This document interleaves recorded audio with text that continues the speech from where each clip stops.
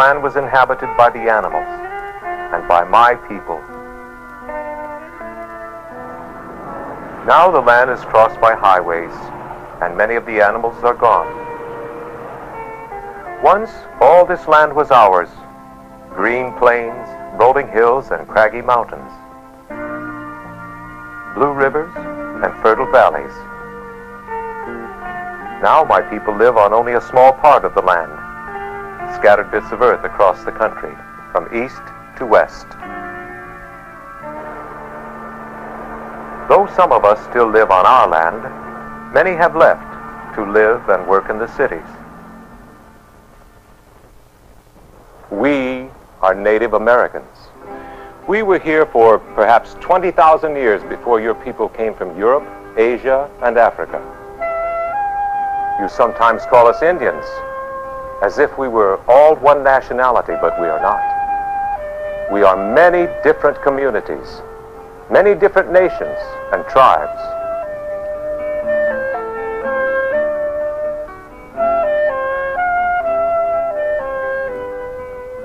To show you how different we are, I'll take you to three parts of the United States. I'll introduce you to three Native Americans who will tell you about their peoples long ago and today. First, come with me to California. Listen while a young member of the Shoshone Paiute people tells us about the Shoshone Paiute. We call ourselves Numa, the people of the Owens Valley. Ever since I was young, I've heard stories about what life used to be like in the mountain forest where we live. In one particular story, the mountain streams run over their banks. There is great flooding. The animals who represent the people of our tribe dive for the bottom, hoping to find earth. But they fail. It seems as though the flood will never end. And then a brave bird dives very deep. He disappears. Perhaps he has died. But no, he returns with earth in his beak. Soon the flood ends, and the land is dry again. The legend suggests something about how my people live near mountain streams. During spring runoffs, the streams can be dangerous. You see, our home is a reservation in the Owens Valley, a land of our own inside the United States of America and the state of California.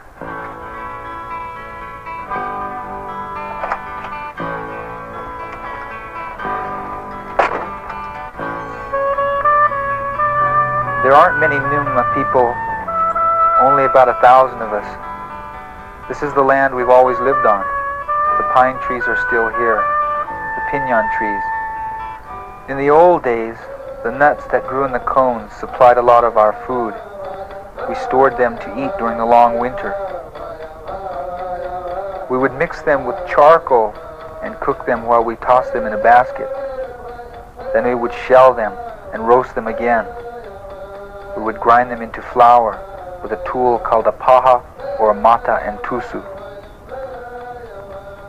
We would make a kind of heavy mush that we ate with wild game.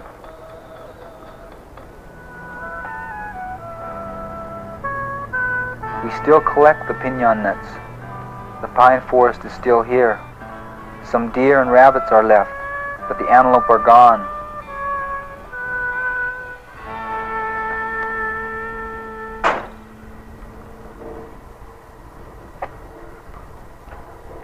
Once, every family had its own place in the forest for harvesting pine nuts, and its own place for hunting.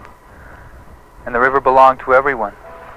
We fished where we wanted, and we still do today, though not many of us still can use the old method, snatching fish out of the water.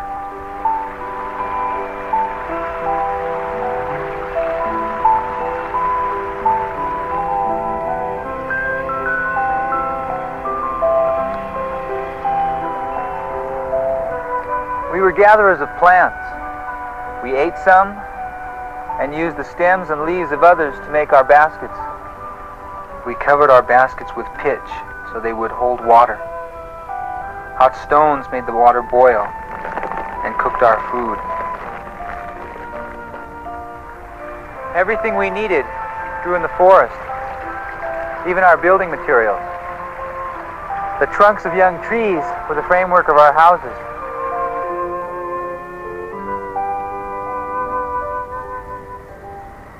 Course, we don't live in houses like that nowadays.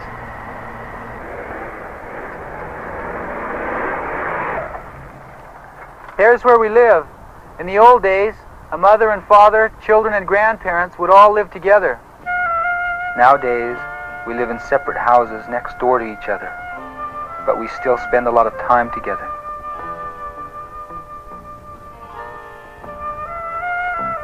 Our old people are respected. They've lived a long time and they know a lot. And our children, they have a lot of fun, just like all children everywhere. They are not often punished, and we show them our love. We show our love in other ways. We try to live according to the principles by which the world works. Nature is our friend. When we are moving with nature, we are happy and well. We are a part of the earth, part of the great mystery. In the old days, when we took something from the land, an animal or a plant for food, we prayed to it.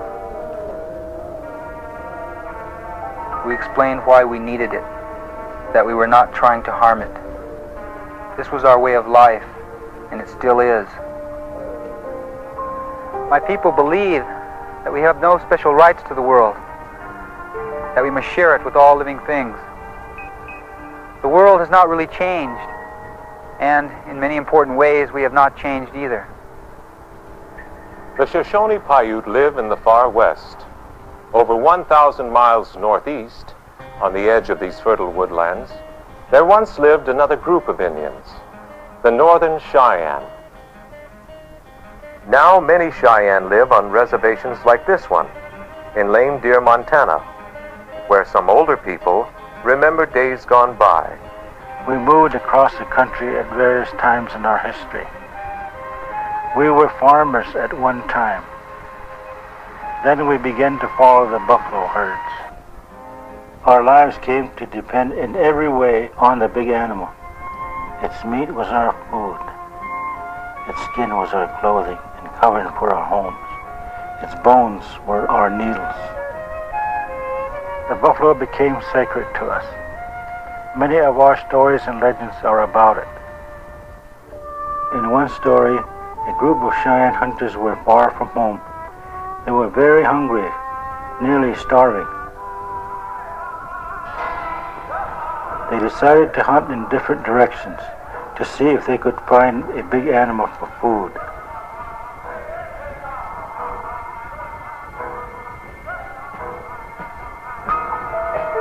When he was by himself, one of the men saw a buffalo.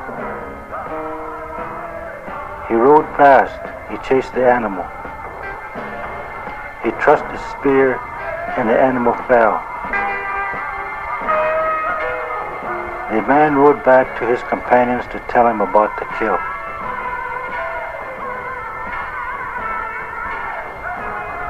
They held their hands in prayer to thank Maya for sending them food. But when they came to the place where the buffalo had fallen, it was gone. This was a terrible thing to happen. It meant that the Cheyenne people might starve to death.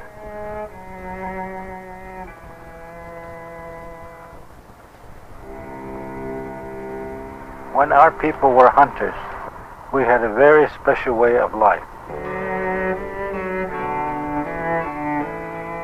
We lived in teepees, tents that could be rolled up, and trailed behind our horses to new hunting grounds.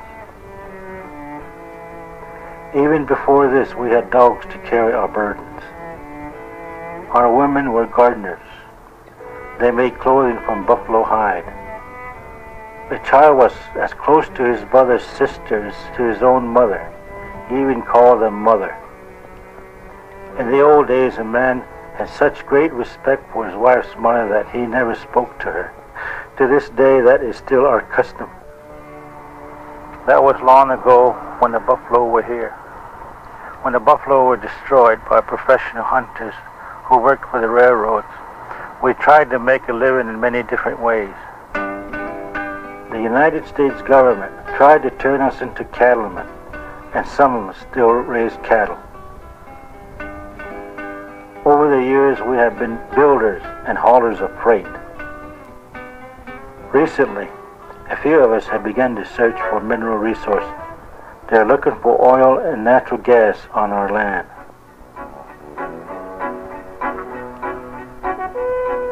Maybe these natural resources will help us to survive in coming generations. Maybe our identity as a Cheyenne people will depend on our cultural heritage. We still believe in the power of Mahale, and today we are known as the Cheyenne. We know that these covenants still have power and can bring healing and strength in times of need. For generations to come, the sacred ways will continue to bind us together as a people. It can bind us together as a people. Every Native American is very conscious of his or her special ties with the tribe and its history. Even in the East, the first part of our country to be visited by strangers from Europe. Many of the Indian nations who welcomed the pilgrims and early explorers to this land still exist.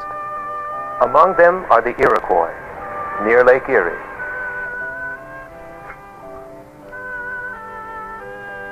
This Iroquois woman can tell you about her people and her life.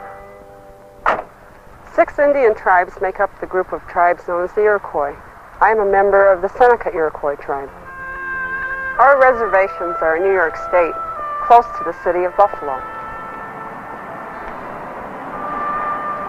I'm a finance officer in a large office, and my husband Lester is an iron worker.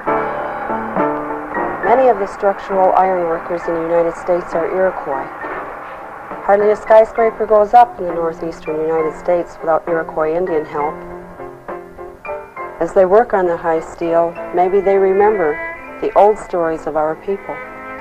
Stories about the ruler of earth, Hawanio, who lives on a great island in the sky, and stories of the Indian brothers who danced higher and higher until they became distant stars in the evening sky. On the job, Seneca ironworkers are close to the sky.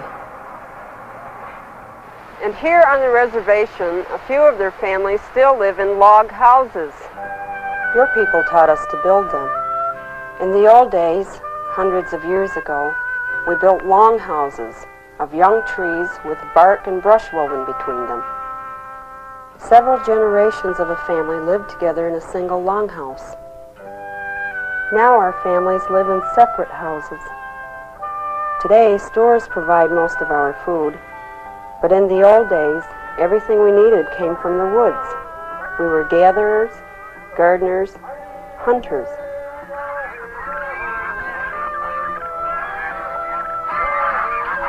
In those days, the Cattaraugus Creek was clean, pure, and full of fish.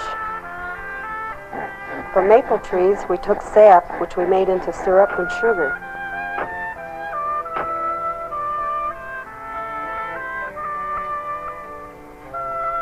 From birch trees came the covering for our boats.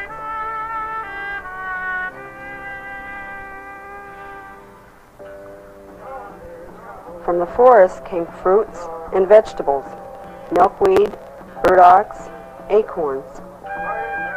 We cultivated some crops too, corn, beans, and squash.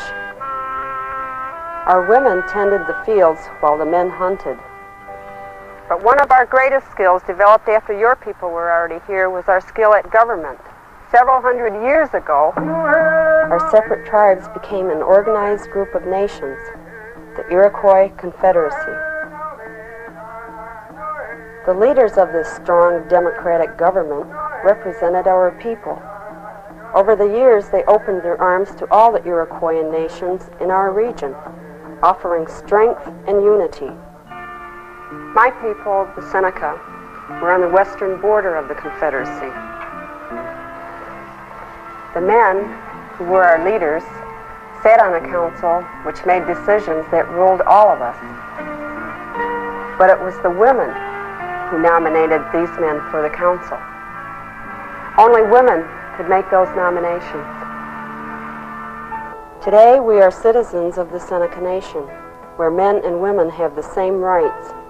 Like women all over the country, we Seneca women work in stores, offices, and factories. Here on the reservation, we still govern ourselves by the laws of the Seneca Nation of Indians. The Iroquois are people of the eastern woodlands. The northern Cheyenne live on the Great Plains. And the Shoshone Paiute inhabit the California mountains. As you come to understand them and other tribes, you come to appreciate how different our people are from each other. How each tribe adapted to its land, developed its own special way of life, and survived up to the present day.